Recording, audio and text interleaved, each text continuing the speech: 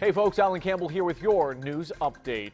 Did Mercedes Independent School District do anything wrong when failing to notify parents after a bus monitor was arrested for indecency with a child?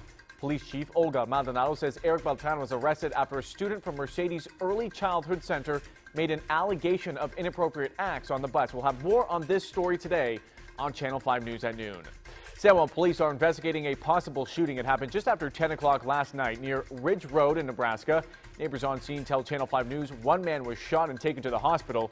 We're hoping to hear from Chief Juan Gonzalez later today. A new judge has been appointed to a criminal case against the Cameron County tax assessor collector. The original judge recused herself. Tony Yzaguirre Jr. was indicted on 23 charges. A Cameron County grand jury added 17 additional charges to the six he was already facing. Yzaguirre hasn't been arraigned on the new charges. And your forecast today, expect temperatures to be in the 70s and clear sunny skies. That is your news update for Friday, January 29th. Have a great weekend.